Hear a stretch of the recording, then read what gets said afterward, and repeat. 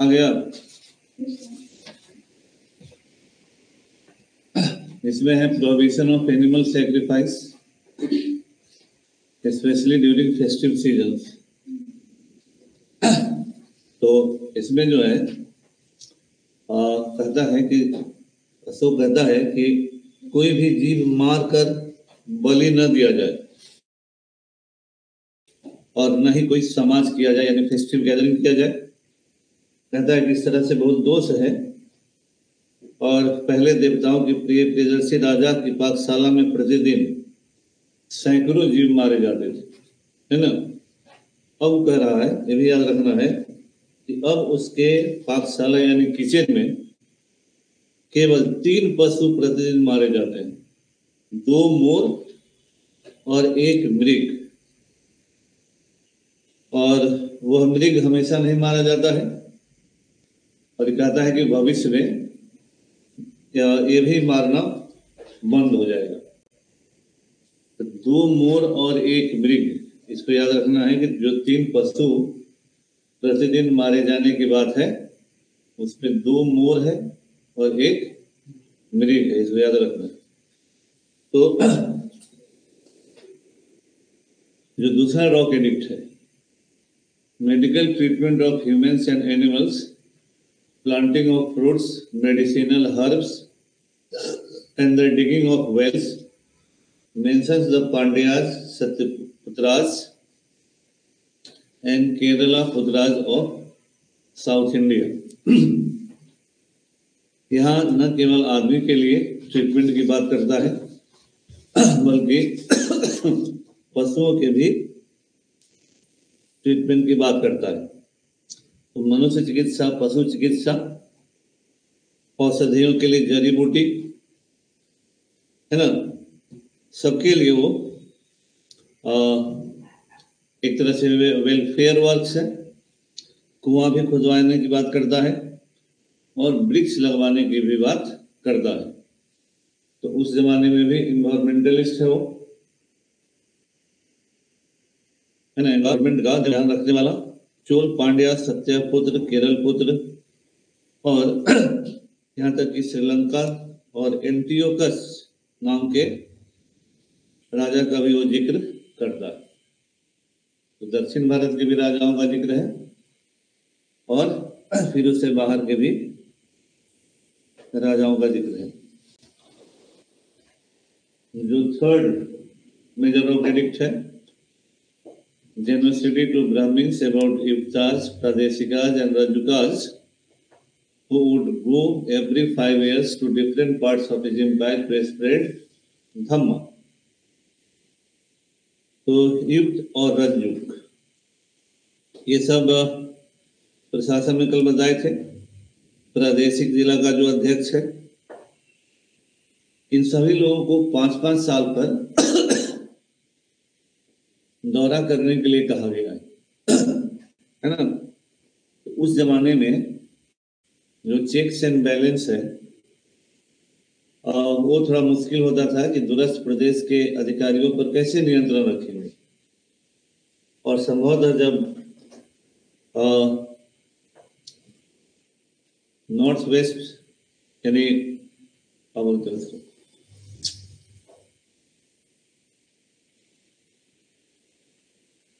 तक्षशिला में जब विद्रोह हुआ था तो वहाँ जब अशोक गया था तो वहाँ के लोगों ने कहा था कि हमको राजा से कोई विरोध नहीं है। स्थानीय शासक के नीतियों से विरोध है। तो मतलब कि लोकल रूलर्स जो गवर्नर होंगे, अत्याचार कर रहे होंगे, इसकी सूचना केंद्रीय राजा के पास नहीं पहुँचती होगी तो लोगों ने विद्रोह किया। उसी के करेक्टिव इसने कहा कि सारे अधिकारी एक एक करके पाँच पाँच वर्ष वर्ष पर इंटीरियर्स का दौरा करेंगे। तो इन दौरों में स्थानीय शासकों के बारे में अगर किसी को कंप्लेन होगा तो बताएगा। तो दोनों बात है। जो स्थानीय अधिकारी है, उसको भी डर रहेगा कि अगर इस सब कोई आया और बता दिया तो मेरा खैर नहीं है और वो लोग सतर्क रहेंगे। चौथा धम Ghosh. Sound of Dhamma, righteousness, over very Ghosh sound of war.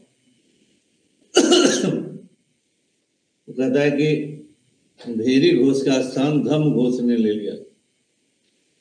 फिर इस प्यारे रखिए इम्तहान में आता है। चौथे बृहद शिलालेख में कहा कि जो भेरी घोष है यानी एक तरह से वो कह रहे हैं कि अब युद्ध नहीं होगा। तो युद्ध शुरू करने के लिए जो भेरी घोष बजाया जाता था that will not sound now onwards और अब केवल धम घोष ही लोगों को, यानी उसका जो धम है, और इसी में आगे चलकर वो बहुत सारा नैतिक शिक्षा देता है।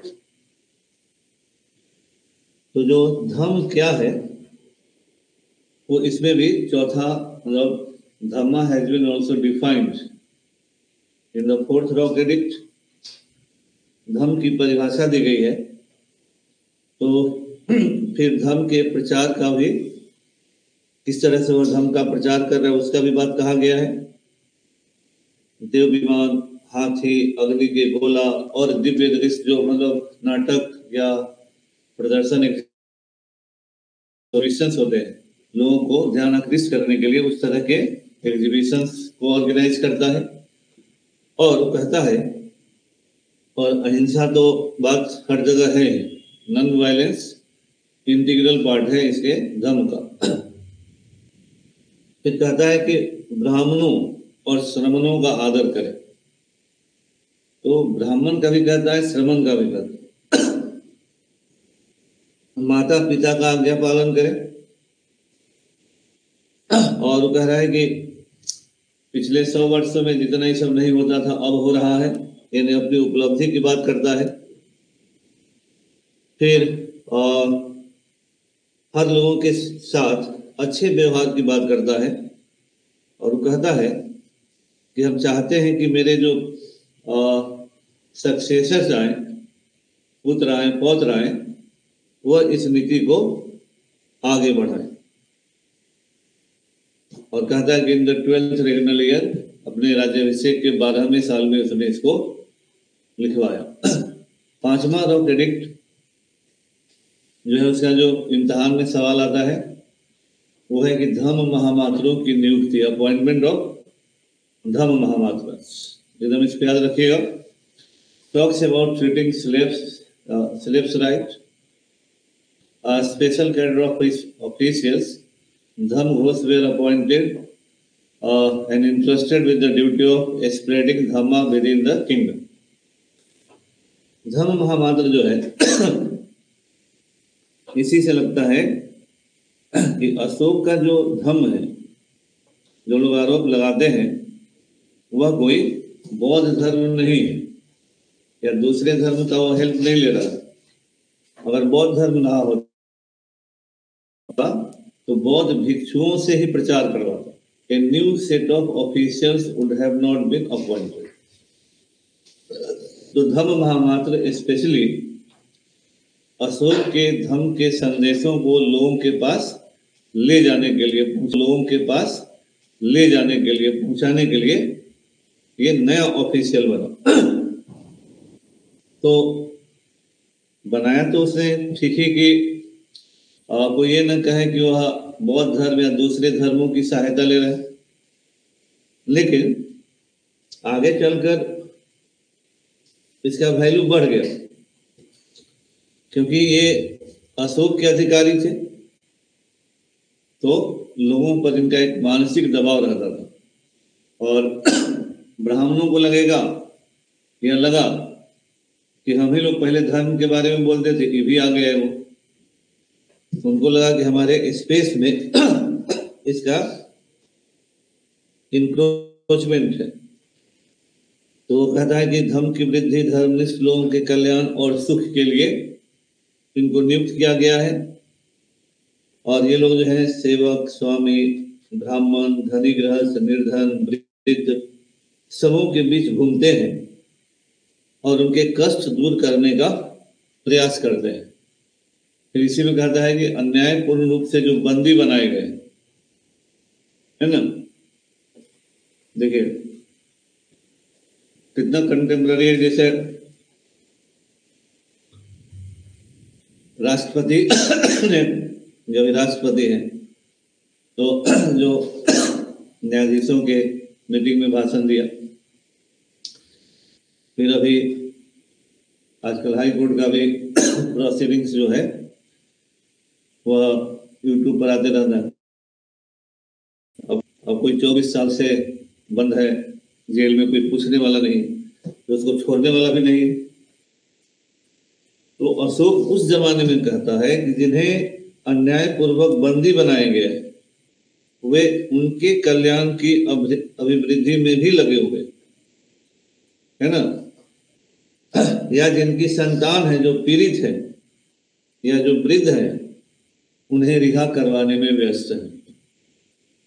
तो आज जिस चीज़ के लिए भारत के राष्ट्रपति चिंतित हैं, वो काम अशोक उस जमाने में कर रहा है और पांचवा शिलालेख उसका उदाहरण है। तो धम क्या है और वो क्या कर रहा है तो पुनः पाँचवें शिलालेख में जो छठा शिलालेख है। King's desire to know about his people conditions and about welfare measures लोगों की स्थिति क्या है? इसी में जो इम्तहान में आता है, एक सवाल आता है। कि वह प्रतिवेदक से कहता है मतलब ऐसे पहले कहता है कि अतीत काल में हर समय न कार्य का तीव्र गति संपादन होता था और न गति से रिपोर्ट प्राप्त होती थी।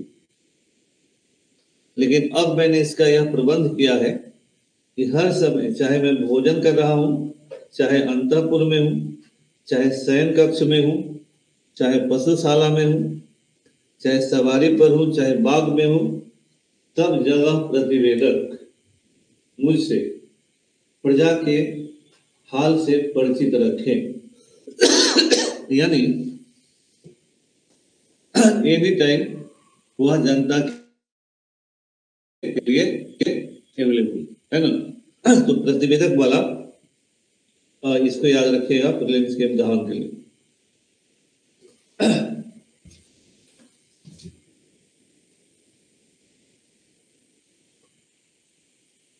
सातवां जो शिलालेख है tolerance towards religion among all sects and welfare measures for the public in his as well as his neighboring kingdom tolerance है मतलब सभी धर्मों के प्रति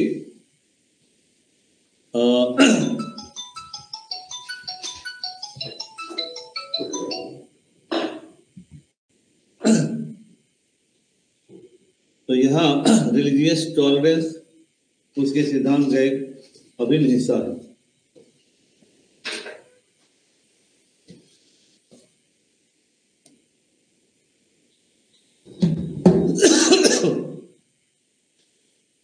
अशोक 250 ईस्वी पूर्व के आसपास।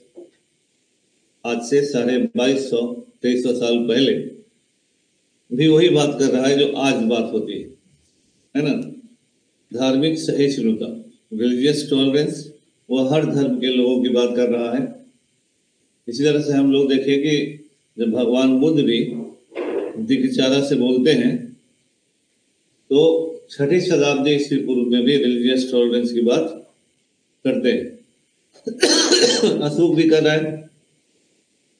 तो उसके राज्य में सभी धर्म के लोगों को समान रूप से स्थान मिलता है।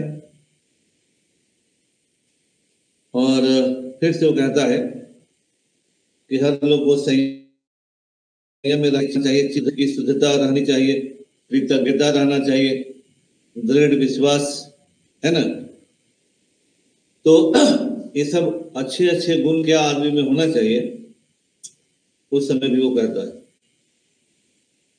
आठवा शिलालेख।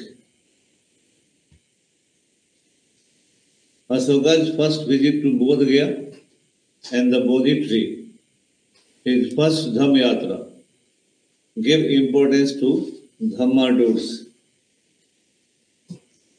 तो उस जमाने में भी अशोक यात्राएँ कर रहा था। जैसे राहुल गांधी कर रहे नीतीश कुमार यात्रा पर यात्रा किए। यात्राओं का उद्देश्य होता है कि आम लोगों से संपर्क, जिससे नॉर्मली नहीं होता है, शासक को। और उनके स्थिति के बारे में जानना। अशोक इतिहास का उस समय तक का पहला शासक है जो ग्रामीण जनता के महत्व को स्टेब्लिश करता है, जो रूरल जनता है, क्योंकि गया जाने में वह ग्रामीण जनता से मुलाकात कर